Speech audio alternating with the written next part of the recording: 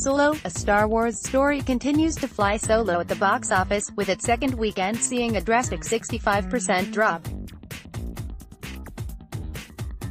Solo only made $29.3 million at the domestic box office this weekend, far less than its $84 million three-day opening, though still enough to maintain its no. One spot. And while the Star Wars prequel film managed to top the domestic box office, it suffered another hit internationally, where Deadpool 2 reclaimed the crown.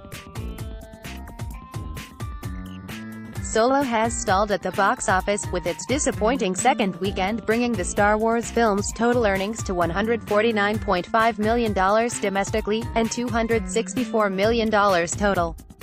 If things keep going this way, Solo is set to be the lowest-grossing live-action theatrical Star Wars movie of all time in America when adjusted for inflation, according to Forbes. At $149.5 million, Solo sits well under The Empire Strikes Back's $209 million. But still, it's only Solo's second weekend. The film's entire domestic run should be able to pass The Empire Strikes Back's raw grosses, though it won't come close to that film's adjusted for inflation gross of $722 million.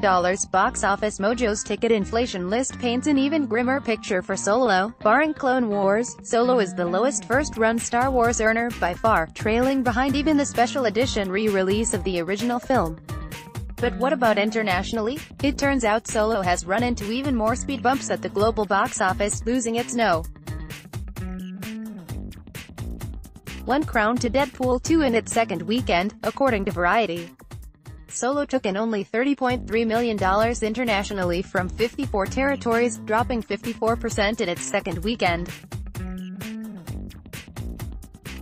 However, Solo still held better overseas than its Star Wars predecessors, Star Wars The Last Jedi 67% drop, and Rogue One 65% drop.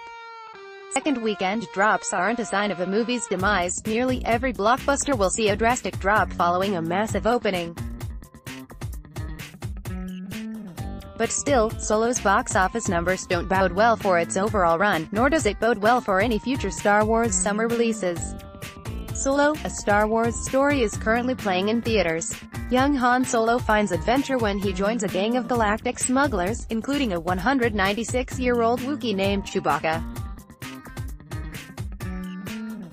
Indebted to the gangster Dryden Voss, the crew devises a daring plan to travel to the mining planet Kessel to steal a batch of valuable coaxium.